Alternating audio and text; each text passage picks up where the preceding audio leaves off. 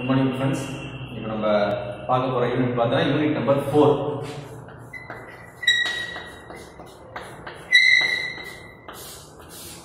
Third யூனிட்ல பார்த்தீங்கன்னா நிறைய வீடியோஸ் போட்டுருப்போம் அந்த வீடியோஸ் கொஞ்சம் கவனிச்சிருந்தேன்னா நான் கரெக்டாக உங்களுக்கு புரிஞ்சிருக்கும். சரியா? வீடியோஸை பாரு. நான் திரும்ப நம்ம நம்ம கிளாஸில் நடக்கும் அது தேர்ட் யூனிட் ம்? சரி இப்போ ஃபோர்த் யூனிட் கொஞ்சம் கவனிக்கிறோம் இப்போ ஃபோர்த் யூனிட்ல பார்த்தீங்கன்னா அதனுடைய டைட்டில் பார்த்து காஸ்ட் எஸ்டிமேஷன்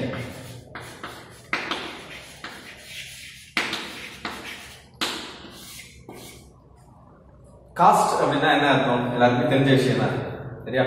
காஸ்ட் அப்படின்னா வேலை சார் ரேட்டு அப்படின்னு சொல்லுவோம். சரியா?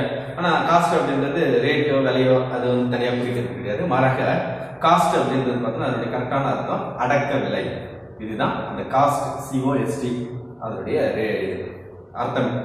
அப்போ அப்ப காஸ்ட் அப்படின்னு சொன்னா அடக்க விலை. இதை நல்லா ஞாபகம் சரி. எஸ்டிமேஷன் அப்படின்னா என்ன அர்த்தம்?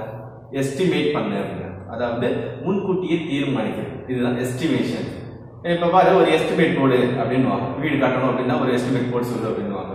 இல்லை ஏதாவது ஒரு பெரிய ஒரு செலவு பண்ணணும் அப்படின்னா எஸ்டிமேட் போடு இதுக்கு எவ்வளோ செலவாகும் அப்படின்னு அப்போ முன்கூட்டியே ஒரு வேலையை செய்யறதுக்கு எவ்வளோ செலவாகும்ன்றது யோசிச்சு பார்க்கறது தான் இந்த எஸ்டிமேஷன் அப்படின்றது இப்போ இங்கே நம்ம பார்க்குற இந்த நாலாவது வீட்டில் காஸ்ட் எஸ்டிமேஷன் காஸ்ட்னா அடக்க விலைன்னு தெரிஞ்சு எஸ்டிமேஷனை முன்கூட்டியே தீர்மானிக்கிறது. அப்ப ஒரு கம்பெனில ஒரு பொருளை நம்ம தயாரிக்க போறோம் அப்படின்னு சொன்னா அந்த பொருளை தயாரிக்கிறதுக்கு எவ்வளவு செலவாகும் அப்படின்றத முன்கூட்டியே யோசிப்போம். ஏன் சார் அப்படி யோசிச்சு பார்க்கணும்? நல்லா கவனி நம்ம ஒரு பொருளை எவ்வளவு செலவாகும் தெரியாம இறங்கணும் அப்படின்னு சொன்னா அந்த தொழில் உருப்படியா செய்ய முடியுமா?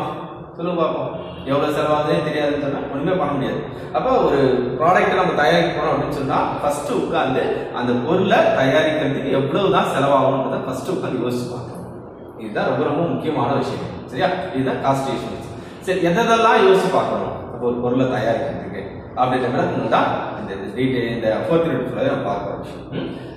ஒரு டூ மார்க் கொஸ்டின் நல்லா வச்சுக்க காஸ்ட் எஸ்டிமேஷன் அப்படின்னு சொன்னா ஒரு உற்பத்தி பொருளை உற்பத்தி செய்வதற்கு முன்பே அந்த பொருளுக்கு ஆகக்கூடிய செலவை முன் தீர்மானிப்பது.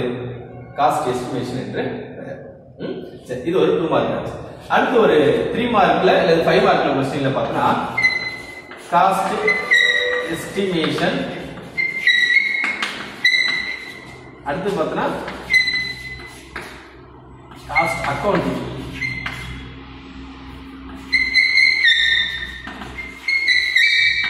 இது ரெண்டு விஷயம். சரியா?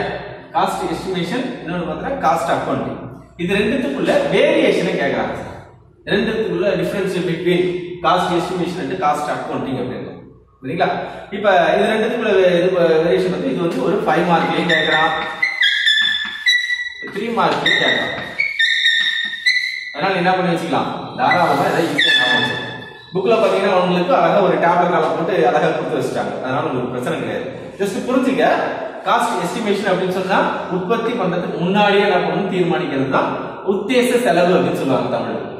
இதுதான் காஸ்ட் எஸ்டிமேஷன் காஸ்ட் அக்கௌண்டிங் அப்படின்னு சொன்னா கரெக்டான அக்யூரேட்டான செலவு. அக்யூரேட்டான ரேட் இதுதான் காஸ்ட் அக்கௌண்டிங் அப்படின்னு சரியா? அப்ப டாலர் காலத்துல பார்த்தா உங்களுக்கு அழகா நிறைய கொடுத்து வச்சிருப்பாங்க.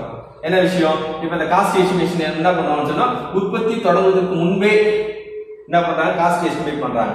காஸ்ட் அக்கௌண்டிங் உற்பத்தி முடிஞ்ச பிறகு தான் என்ன பண்ண அக்கௌண்டிங் பண்ண முடியும். இது காஸ்ட் எஸ்டிமேஷன் வச்சு ஒரு பொருளுடைய கரெக்டான ரேட்டை ஃபிக்ஸ் பண்ண முடியாது. ஆனா இதுல பார்த்தோம்னா கரெக்டா காஸ்ட் அக்கவுண்ட்ல கரெக்டான ரேட் வந்து தெளிவா தெரியும். இது மாதிரி நிறைய வேரியேஷன்ஸ் பார்த்தோம்னா இருக்கு. சரியா? இதை மட்டும் நீ என்ன பண்ணலாம்? முக்கியமாக நோட் பண்ணி வச்சுங்க. அப்போ இது ஒரு டூ மார்க்கு இது ஒரு ஃபைவ் மார்க்கில் கேட்குறேன். இது ஒரு கொஸ்டின் வந்துச்சு ம்? சரி இப்போ ஃபர்ஸ்ட் நம்ம போலாமா? ஃபர்ஸ்ட் காஸ்ட்ல பார்க்கும்போது முதல் காஸ்ட் பார்த்தோம்னா மெட்டீரியல் காஸ்ட்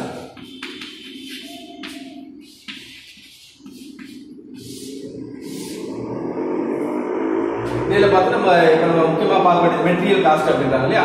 சரி ஃபர்ஸ்ட் இது வரைக்கும் என்ன பண்ண? ஒருத்தர காப்பி பண்ணு அடுத்த டாபிக் நம்ம பார்க்கலாம்.